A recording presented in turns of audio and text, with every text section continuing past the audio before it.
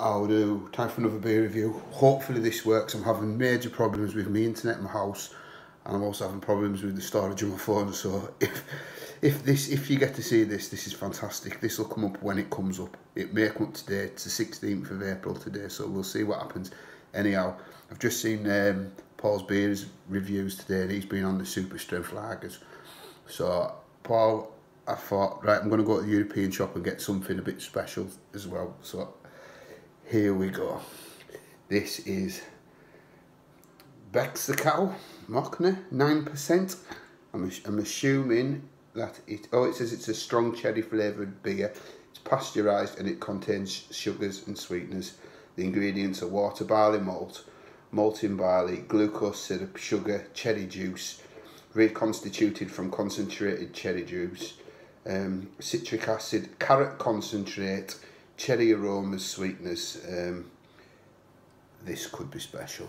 Um, I think the good thing about the European shops is you pay about a pound, a pound fifty, and you just get random beers that you never ever see anywhere else. So if you are wanting to try new beers, then I would wholeheartedly recommend going to your local European shop to try beers from like Russia, Poland, and Lithuania.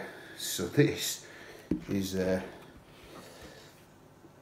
that's an off off red, closer to pink beer. It's got a slightly off white, two finger uh, pillowy head. Yeah, it looks looks really red on it. Looks like it's, it does look synthetic as out, but let's get the nose.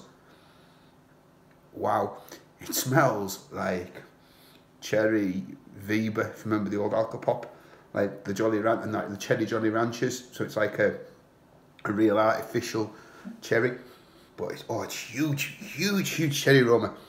There's nothing else on it. It's just cherry. Right, let's dive in. Cheers. Nine percent. Here we go.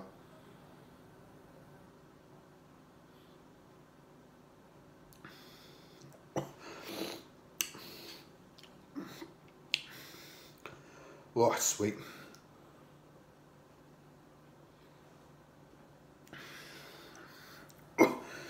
Right, that is like tunes the the lozenge, and it tastes like like I'm taking like some kind of medicinal cough syrup or something like that.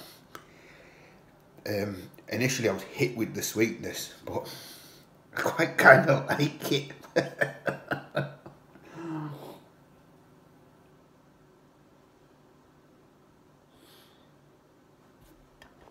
I mean, 500 mils and it's 9%.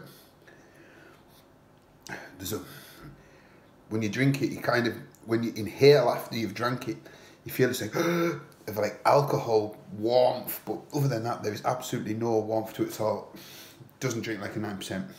It just drinks like a, a, a 2% or something. It's, it's dangerous. Um, I thought this was going to be horrific. Um, I'm not, I'm not saying it's the greatest beer I've ever in my life, but it's certainly all right. Actually, it's a, it's a pleasant surprise. Um,